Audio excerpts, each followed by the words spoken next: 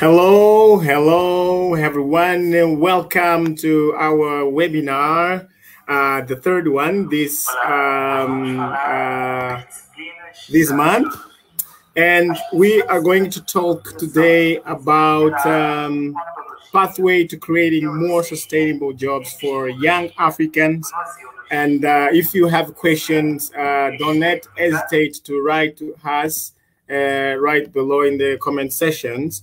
So for the discussion today, we have um, uh, Jacqueline Modis. Uh, Jacqueline Modis, uh, she is um, a human rights activist and the Refugee Rights Network volunteer at Amnesty International. And uh, something that I want to state is that she speaks six languages at different proficiencies. That's amazing. And uh, so uh, our host is going to be Jeff. Jeff, Jacqueline, Jeff, uh, and Jacqueline, welcome uh, to to the today's webinar. Thank you so much for having us. Thank you for having us. Great, uh, great. So um, the the today's webinar will last approximately, let me say, thirty minutes. Uh, it depends on how the question will be answered by our uh, guest speaker. But of course, we can go a little bit further. And uh, the the host will be Jeff. Jeff, the stage is yours, and um, let's learn together. Awesome. Thank you, Rogerio. Thank you for introducing us.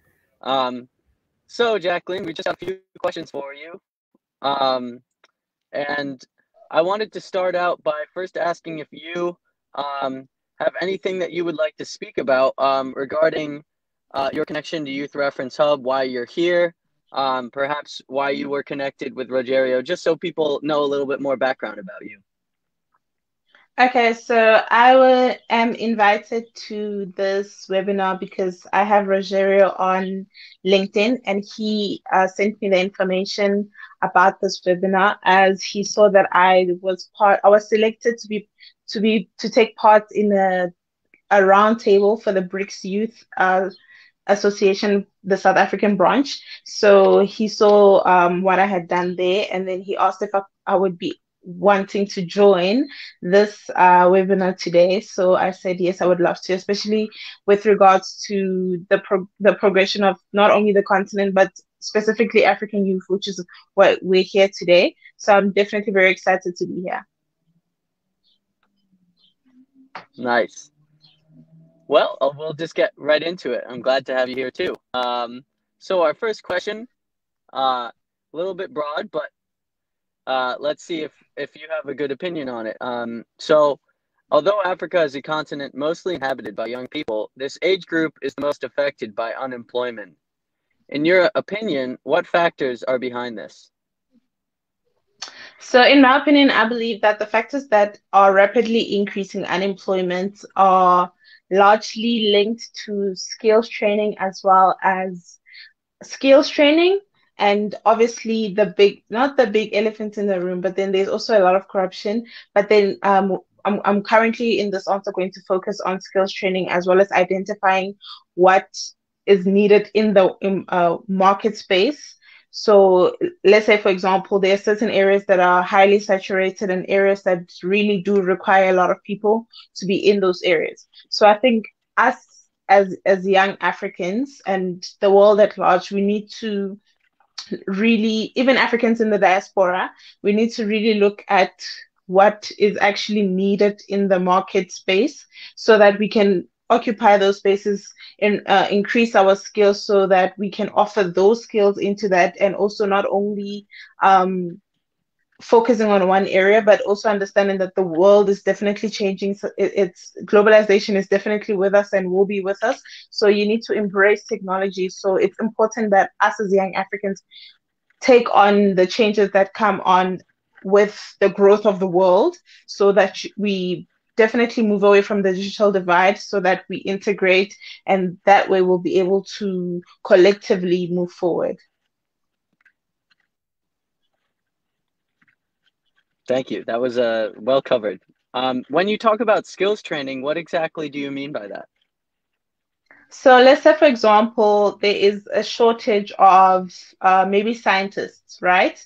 Or um, maybe doctors or mechanics or um, woodwork people, right? So I suggest that from a young age, you have those subjects instilled in, let's say, maybe woodwork or science. You, you sort of have uh, groups that are available for teaching these students from primary school or high school in such a way that you teach them at their level. So in terms of skills training, we could start there. And also when the students are in university, college, or the end of high school, you could expose them to certain um, volunteering opportunities. So that would also ha- lie a lot with um, organizations or centers and so forth.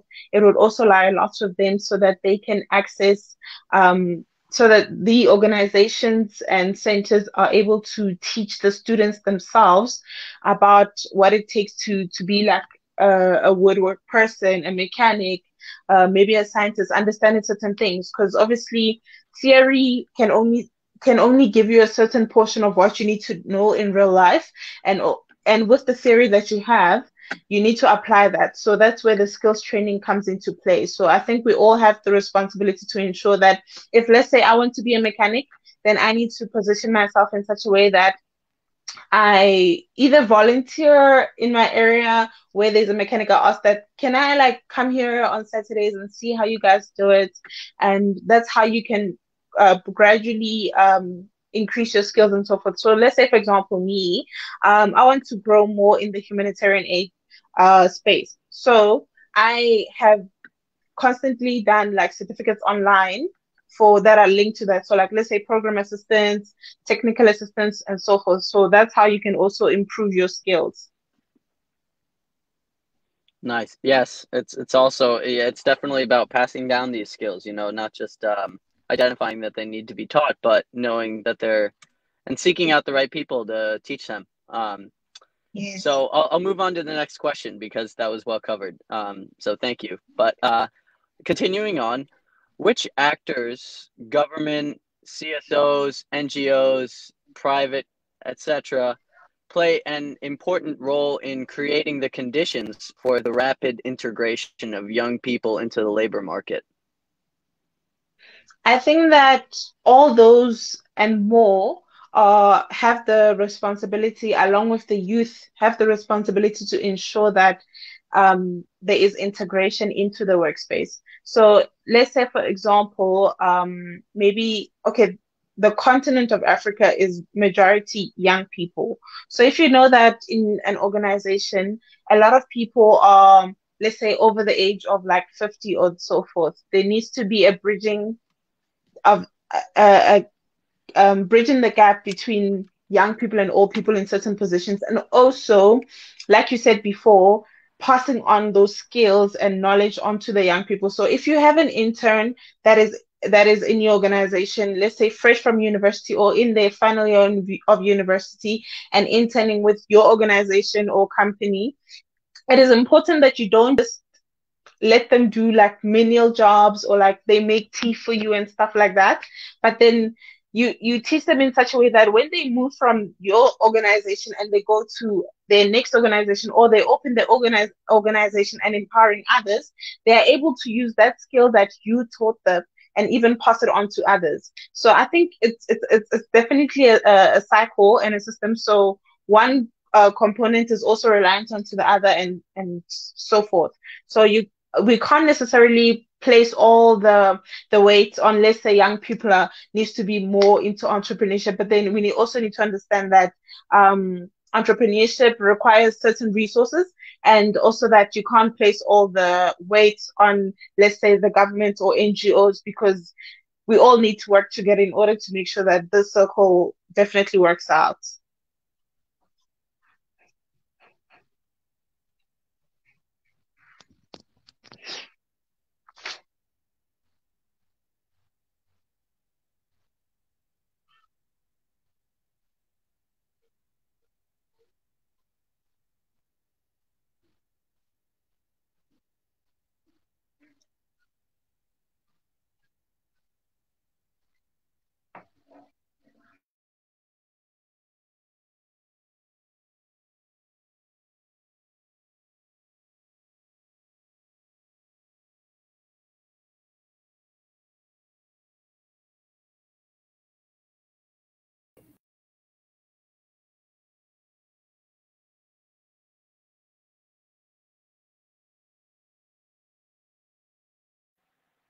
Here we go. Can you hear me? Yes, I can hear you. Okay. Sorry about that. Had some difficulties there. No, anyway, fine. um, thank you for that. It's definitely it's it's a those roles rely on everyone. Obviously, it is uh, spread equally. Um, so continuing on, um, young people individually though, focusing more specifically, what should they do to become a qualified workforce for the current labor market? Okay, so it's important that you realize the power that you have as an individual and how you can use that as a backbone to get to where you need to go. So, like I said before, it's important to always upskill yourself. So, if let's say you are an accountant or you are an administration person, you need to check globally, not just within your own country or within your own region, what are the current trends for your profession or what you were trained in um, globally are so that you can take like from here and apply. Obviously you need to make it relevant to you to to where you are and who you are and what you do. So if let's say you're an accountant you check how other countries are what the trend is there and how you can apply that here if possible. So it's, it's always important that you can always upskill yourself in that way and learning that you cannot work in silos or be an island.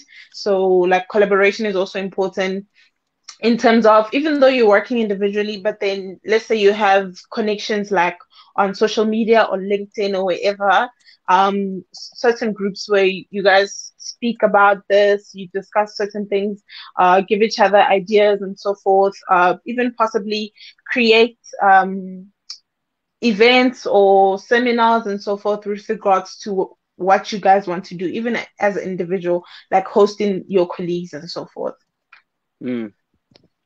When, with regard to, um, I guess uh, the role that that online collaboration plays, um, do you find it ever difficult um, regarding internet connectivity in this age where where COVID is limiting our in person interactions? Do you think that um, access to broadband internet connection has played a role in youth finding new jobs and being able to connect online? Yes, definitely. I mean, going back to, I think we were in first year and second year, we spoke a lot about the digital divide in communication science as well as media studies. So the digital divide is, is, is quite rampant, not only in South Africa, but throughout the whole continent, along with other ICT issues and electricity issues. So, with everything now being online, especially with COVID, and there also being a digital divide, different economic classes, and so forth, it does make it difficult for young people to access certain opportunities. So, we all um, you might not all know, but data is quite expensive in South Africa and in many parts of the continent as well. Um, on on Africa, it's it's quite expensive, and not everyone has access to purchase data, even like a day's worth or even a month's worth of data. And if they do purchase data, then it's it's sort of like some people have to weigh the options. Am I purchasing food or am I now going to purchase data? So it does become quite difficult and um and even if you go to places like libraries, I'm not quite sure how those work during COVID because I haven't gone into a library since uh, before COVID. So I'm not sure how the situation is right now. But um, I believe that there is Wi-Fi out like on the premises, like of the library or a community center, whatever. Then the young people could could use that, but not everyone has access to internet or even a smartphone to be able to look for opportunities like on being on LinkedIn. For many of us, that's a privilege. Being on Facebook is also a privilege because some mm-hmm. people do not have smartphones. Yeah. And Wi Fi isn't too popular right. because of the pricing and so forth.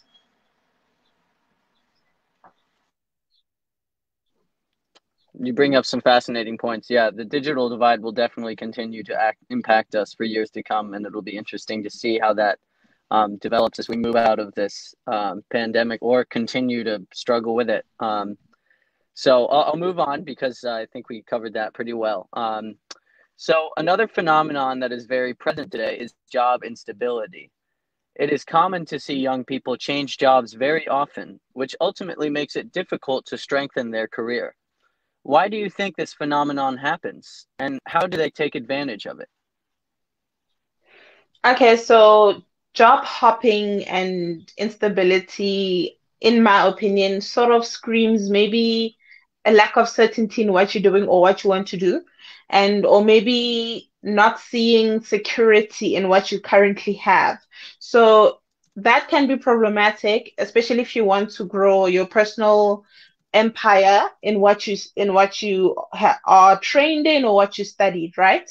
So for young people, if you want to to sort of maybe move from organization to organization or center to center, um, I guess it might not be the best thing to do, but it needs to be done with intent, right? So if let's say maybe you're going to move from one organization that specializes in maybe IT, and now you want to move to another organization that doesn't necessarily specialize in IT, but you have the skill for IT, that could work.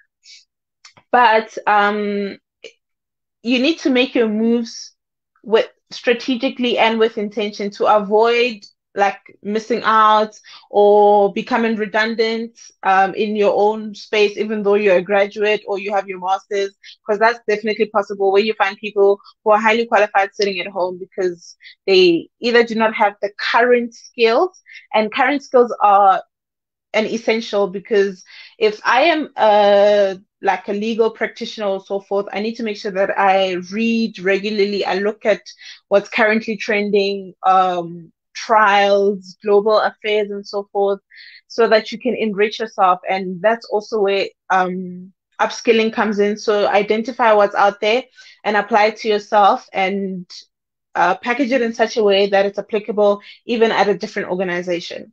So turn the, the situation to work in your favor. Yeah. It's definitely uh it, it's part of not seeing the security in what you currently have can make changing a job uh, and adding intentionality to it certainly a problem. Um, so mm. I, I think checking trends though will always be essential in, in in staying engaged with the current market and how it changes. Um, so moving on, um, if you were an employer, what would you do to keep your employees engaged and committed to your work in an ever changing environment? So, because the world changes ever so often, you, as an empl- employer, you need to understand what you do and who you work with. So, if you have, let's say, a group of 10, not everyone is going to be the same. That's really unrealistic to think that everyone's going to be the same just because you're working in the same place, and not everyone applies the same work uh, skill. So, it's important as an employer that you identify like certain things like allowing people to work from home. Okay let's say pre-covid allowing people to let's say maybe work three days in the office and two days at home that could give them the motivation to not always feel exhausted or burnt out because traveling is definitely part of the anxiety and stress of everyone's daily basis because um, most of the time you spend probably half of your day on the road and creating an environment that is really warm and inviting, allowing your em- employees to have a relationship in such a way that it's professional, but then they also understand that they can also uh, speak to you about certain things or express themselves and not feel like they will be attacked should they say certain things.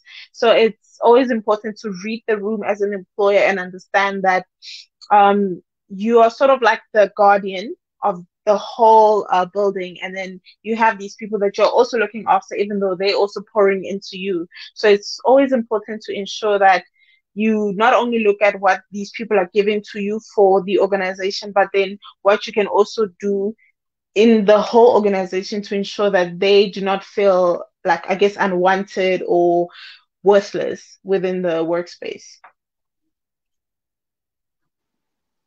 Definitely. Yeah i agree um, definitely need to understand what you do and who you work with uh, above all because that that matters the most. Um, so moving on um, for young people who have embraced entrepreneurship it is common to see that their companies close in the in the blink of an eye.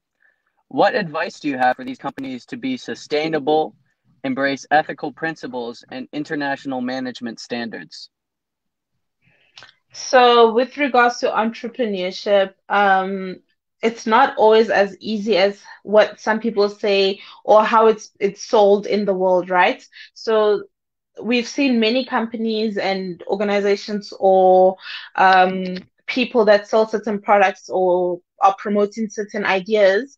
They often do um, close quite rapidly and that isn't good because for you to move into entrepreneurship you make an investment basically. So the advice that i would give to entrepreneurs and upcoming entrepreneurs is that um, definitely do a lot of planning as well as research. So if you are working on a certain project and you want to move into entrepreneurship into that or you're already within that space then um, like i mentioned before um, upskill definitely and identify what's happening like global trends and so forth globally as well as within your region and within your country as well. And to link what you have along with international standards that's where research comes in because you can't um, just work on one thing and think that it will always generate income. You need to find ways of improving and improving like how many business during COVID, especially here in South Africa, during because we're currently on level four of lockdown, so most of the restaurants had to close down and they only do strictly takeaways. So what many of those uh, restaurants do is they identified a market that you know what uh, we realized that during lockdown last year which was level five, the harshest, where no one, you only go out for like groceries or emergency, like to a hospital or whatever. So they identified that gap in the market, like, okay, we'll do, we'll still do takeaways and we'll ensure that our waiters and waitresses or waitress staff are, are, are not redundant at work. So they have created ways in which the, the, the the staff at work still is able to serve people in the car parks, giving them food and so forth. So it's you need to definitely think ahead, always do research. You you can't you can't relax because this is the decision that you've made. So you need to definitely push and identify the ways of always improving and ensuring that you identify the gap in the market because there's definitely always a gap in the market and you can always collaborate with other entrepreneurs that are even in not in the same field as you, but then maybe they could give you an idea or you could give them a service in that way. Research, research, research. it matters so much. Um, it really does. And uh, I think embracing ethical principles involves some research as well. You know, not not to just dive into your company with um, uh, without any knowledge of, of the impact you might be making and the consequences that can come from your work. You know, you have to understand that whatever resources you are taking, you are you are using and and taking from a certain area, and uh, have to be aware of of that impact as well. Um, and so now this is a this is a bigger one, but um, how do you see young Africans five years from now with regard to accessing and creating jobs? So my vision for young Africans five years from now is I definitely see bright, flourished, listening, progressive, um, elevated, and definitely working together because we under we understand that the continent is definitely filled with amazing Africans, young Africans that do want to see change, do want to see progression. And what I see is more working together, collaborations across the continent, eradicating all the, these ideas and challenges that definitely do separate us. So if we all definitely have one vision, we'll be able to get to where we need to go. So if you know someone who is in Sudan or someone who is in uh, Mauritania that you would like to work with, you should definitely reach out to those people and create those uh, networks and relationships. Maintaining those relationships is also essential, and that's the way forward. And we'll definitely do see more of Africans globally, even in the diaspora, definitely growing in their fields. What do you think um, regarding yourself in five years from now? How do you think you might play a role in that growth? So I definitely refer to myself as your African girl. So uh, that's my tagline. So I definitely always push the agenda of Africa wherever I go and debunking all the myths. So I, I, like I said, I want to work in the humanitarian aid uh, space, and that's where I've mostly been. Outside of human rights, it's also humanitarian aid space. So I would like to to ensure that um, basically the whole continent realizes all the the dreams and um, livelihood that they need to get. So my duty in that is it basically pouring in what I know. So with my, the advantage that I have currently is the ability to speak all the languages which I do, which makes it easier for me to relate to different people across the continent, especially when I speak like mainstream languages like English, French, and Portuguese, and a bit of Swahili. Then I'll be able to integrate with those communities, pouring into them, asking them what they need. So I'll I'll basically be like a young diplomat across the continent. Do you mind telling us, uh, for those who don't know, what are the six languages that you speak? So I speak English, Afrikaans, Setswana, French, Portuguese, and Swahili. Wow, that is brilliant. I know Thank it took you. some hard work for you to to learn them all. So I, I, I really commend you and and you know those who those who have had the opportunity to speak with you so far um, in a language that is not your own uh, are, are supremely grateful too. So um, I'll continue on. I have some of my own questions that I just want to ask you. Um, and hopefully these won't take too Okay. long um, because I know we're coming close to the end. But um, I, I want to consider, we've talked a lot about job sustainability. I, I want to also talk about environmental sustainability and how it might play a role in how young Africans choose jobs, if at all. Um, obviously, we're all looking to still get paid, um, but at the same time, we want to do so ethically, and that might not always be the case with a large paycheck. I'm wondering if you know of anyone specifically who is uh, making sure that they are, when they're searching in the job market, are doing so with um, environmental ethics in mind. Currently, at this point, I do not know anybody outside of, let's say, the humanitarian aid space. Like some people would definitely say that I would rather not work for set uh, a organization because they have a bad reputation with regards to the respect of lives, or I would rather work in an organization that will not pollute the ocean. So even though they come out with a propaganda statement to say, um, oh no, um, we reimburse or we have opened up um, a water pipe to give this community because of what we had done, then I um, it's always important to consider those elements when especially when you're job hunting because you wouldn't want your personal reputation to be linked to a negative image because of an organization that you worked with. So that's always something to consider. And it's always important that you consider where you live as well because let's say for example when we had the cyclones um, in Mozambique and it affected a bit of South Africa, Zimbabwe, and Tanzania, um, in as much as you know it's beautiful at the beach and everything, but then when you are looking for organizations that you would like to work with, identify organizations that protect lives, that that understand climate change, and do not think it's just um, hashtag or whatever or a movement, but it's an actual thing that is definitely moving quite rapidly. I mean, there's an island called Tuvalu, and it's literally diminishing every year because of the water that's literally coming into the land, and eventually, later in so many years, it will definitely be so small because of um, rising sea levels. So it's always important to consider organizations that are operating in those environments as well as um, what those organizations are basically doing. Thank you for answering. That that was uh, very widely covered, so I appreciate that, Jacqueline. Um, and, and the last question I will just ask. Um, this is something I'm curious about.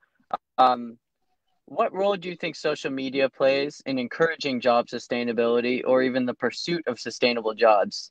And how can these young companies benefit from platforms like TikTok or Instagram or other ones, LinkedIn, to connect with young Africans and educate them on employment sustainability?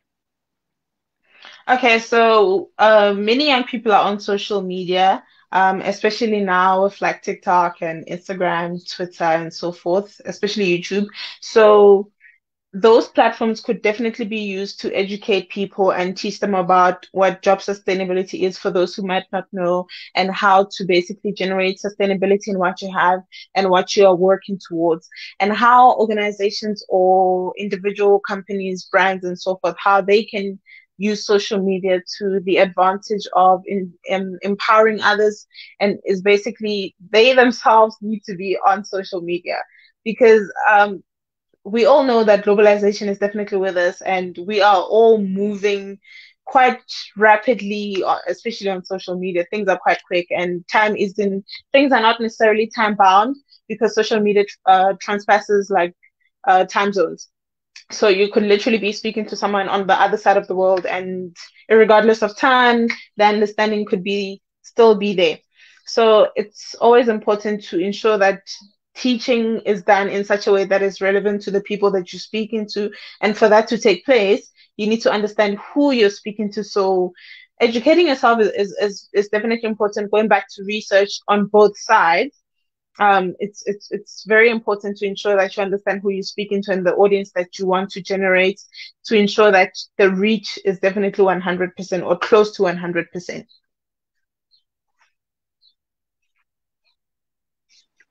Definitely. These are relevant platforms that are continuing to evolve, and um, so these relevant issues need to be shared on relevant platforms. So um, that's uh, thank you for touching upon that.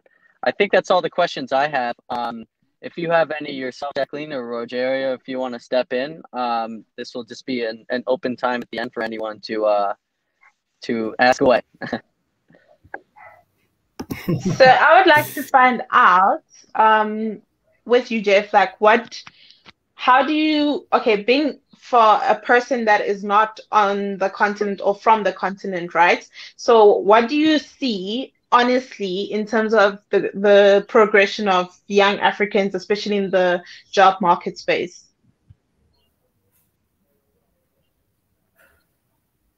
This, this question is for Jack, uh, for, for Jeff. Yes, sorry. Sorry. Yes. Oh, okay. What? So can you ask it one more time? Okay, so I was asking with a person, with you being a person that is not from the continent, what is your current opinion of how the job market or basically the atmosphere is with regards to youth employment and uh, the youth at large? Um, I just, I, I definitely noticed that um, technology plays a, a heavy role.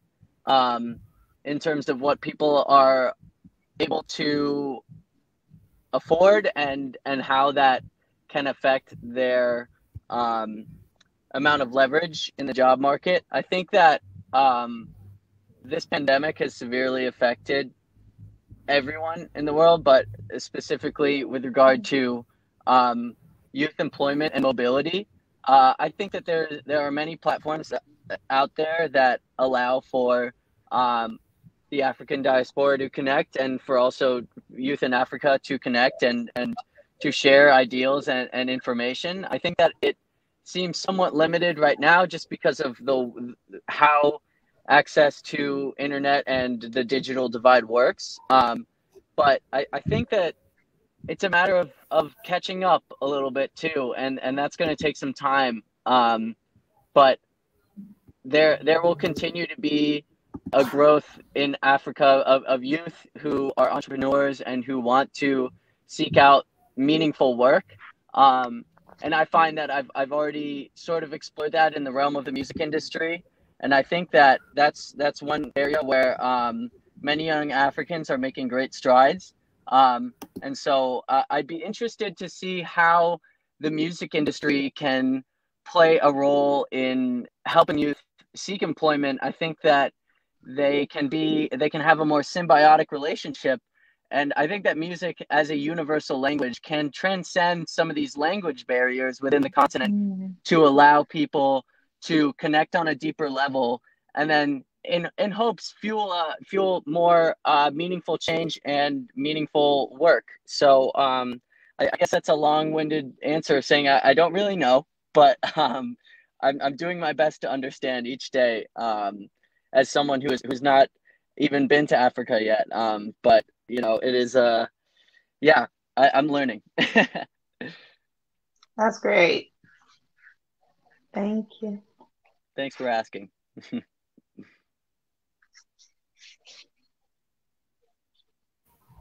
oh yeah. Rogerio, do you any, have anything you'd like to add? No, I uh, I really like the the conversation. It was very very um, useful, and you did great. You you answered great all the questions, and I believe that uh, everyone who, who will watch or is watching this webinar right now, uh, you get the point, and maybe we are uh, in this fight together to create more sustainable jobs for young Africans. This is a kind of challenge that we, we will not like stop today, we will not overcome this challenge today, but it's a process. Mm-hmm. And I believe uh, that the future will, will be um, bright for everyone in Africa. And thank you very much, um, uh, Jacqueline. Thank you very much, uh, Jeff, uh, for, for that amazing conversation. Uh, we will continue doing this kind of uh, sessions. And of course, we will be uh, counting on, on people like you, Jacqueline, and like you, Jeff, uh, to conduct this kind of, of um, webinars. Thank you. Thank you so much. Thank you. Yes. Enjoy the rest of your day. Uh, stay safe and uh, protect yourself against COVID. Yes, definitely. Thank you. Bye bye. Thank you, Jacqueline. It was great meeting you. great meeting yeah. you